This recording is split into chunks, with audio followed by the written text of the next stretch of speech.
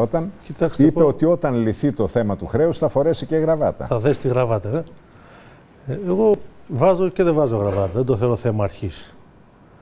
Ε, άλλο είναι θέμα αρχής κατά τη γνώμη μου. Τη γραβάτα μάλλον τη φορέσατε τον περασμένο Αύγουστο ψηφίζοντας το μνημόνιο. Όχι. Τη γραβάτα τη φορέσα όταν παντρεύτηκα.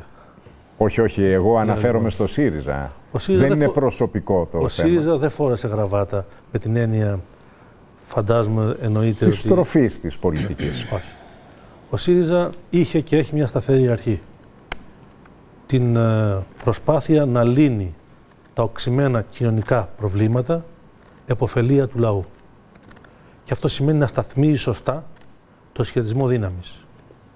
Και φάνηκε ότι πέρσι, το πρώτο διάστημα, πέσαμε πάνω σε μια τακτική των πιστωτών με κάποια, όπως είπε χθες ο κύριος ε, Πρωθυπουργός, από τη δική μας πλευρά ε, δεν είχαμε σταθμίσει σωστά τη στάση αυτή. Είχαμε κάποιες αυταπάτες. Δώσαμε τη μάχη μέχρι τέλους σε εκείνη τη φάση. Θυμάστε το δημοψήφισμα.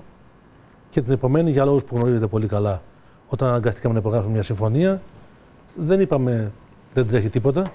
Πήγαμε στο λαό, ζητήσαμε την ψήφο του λαού και πήραμε την εντολή για να κυβερνήσουμε. Ποιο είναι το σημαντικό σήμερα; Ότι σήμερα επιβεβαιώνεται η επιλογή του Αυγούστου πέρσι. Ό,τι υπογράψαμε, σήμερα τα τιμούμε. Ούτε περισσότερο, ούτε λιγότερο. Ό,τι ο λαός με την ψήφο του ενέκρινε το Σεπτέμβριο ότι υπογράψαμε, εκεί μείναμε και φέρνουμε μια συμφωνία η οποία κλείνει, όπως ξέρετε, το θέμα της αξιολόγησης. Θυμάστε πότε είναι να γίνει αξιολόγηση στην Ελλάδα; Από τον Μάιο του 2014. Δεν έκλεισε η κυβέρνηση Σαμαρά καμιά αξιολόγηση μετά, όπως θυμάστε. Το άφησε. Εμείς δώσαμε μάχη, βελτιώσαμε τους όρους της συμφωνίας και κλείσαμε σήμερα την αξιολόγηση χωρίς πρόσθετα μέτρα. Και όχι μόνο αυτό, και αλλά, ήξερε ο λαός αλλά αλλάξαμε, μέτρα, αλλά αλλάξαμε. Το καλοκαίρι ήξερε για 5,5 δις μέτρα και άλλα 3,5 εναμονή. Θα ακούσετε κύριε Στραβελάκη. Πότε, πού είναι γραμμένο; Θα ακούσετε κύριε Στραβελάκη, μην στεναχωριέστε. Ψηφίστηκαν συμφωνίες το καλοκαίρι που προέβλεπαν συγκεκριμένα μέτρα. Και ανάμεσα στα μέτρα τα οποία προβλεπόντουσαν ήταν το ασφαλιστικό, τα φορολογικά μέτρα, τα οποία έγιναν πιο συγκεκριμένα μετά. Τι άλλο υπήρχε το καλοκαίρι, συμφωνία, που μας επιτρέπει σήμερα να ζούμε ως χώρα η μείωση, η κατακόρυφη μείωση των πλεονασμάτων.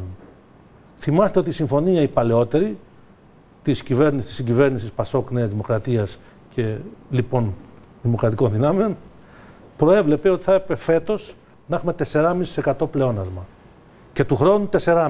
Ναι. Και του αλλού χρόνου 4,5. Βέβαια, κύριε Φίλη, με και η συμφωνία του Αυγούστου. Ένα λεπτό, κύριε Μακρύ, μην με διακόπτετε. Με πολύ διαφορετικές. Μην με Και η συμφωνία του Αυγούστου τι έκανε, είπε 0,5% πλεόνασμα το 2016, 1,75% το 2017 και 3,5% ναι. το 2018. Ξέρετε ποια τη διαφορά είναι αυτή; Ναι. Είναι 20 δισεκατομμύρια, 20 ναι. δισεκατομμύρια ευρώ στις τσέπες των Ελλήνων πολιτών. Θα τα βουτάγανε.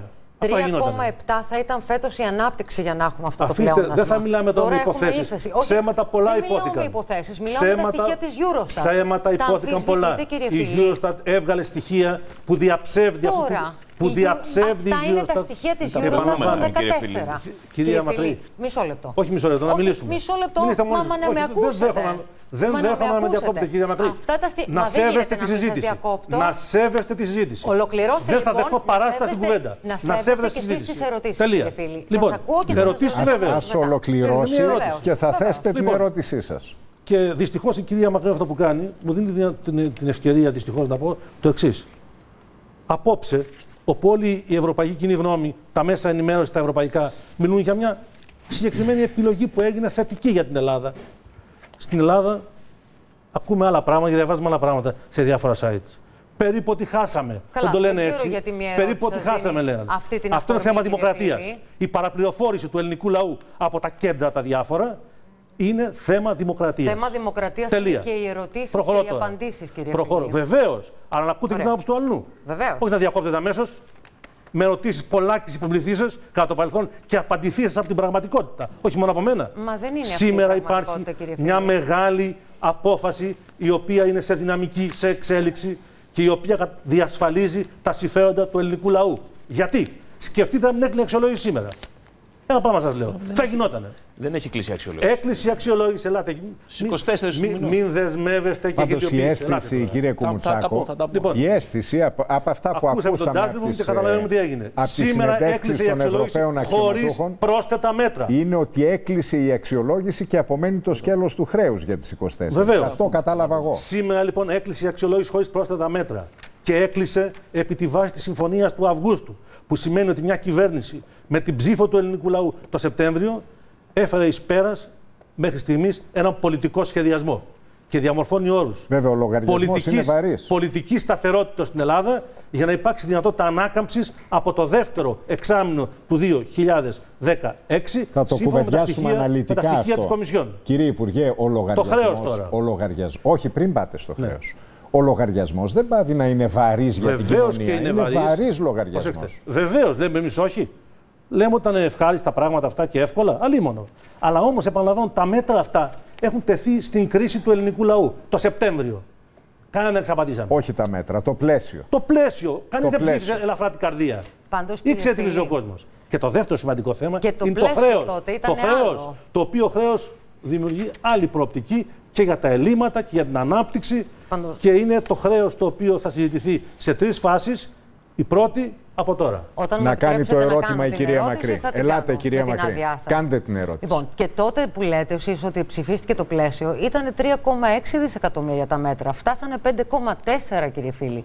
Και βγήκε ο κύριος Λιαργκόβας του Γραφείου Προπολογισμού της Βουλής και είπε ότι η καθυστέρηση αύξησε το λογαριασμό. Δεν το λέω εγώ, ούτε κάποιος επικριτής της κυβέρνησης. Το λέει ένα ανεξάρτητο γραφείο, το Γραφείο Προπολογισμού της Βουλής. Κυρία Άρα Μακρύ. λοιπόν, ούτε το 24 ΦΠΑ ήξερε ο μέσος πολίτης πέρσι το καλοκαίρι, γιατί δεν υπήρχε σε αυτό το λογαριασμό. Υπήρχε το ασφαλιστικό και οι άμεση φόροι.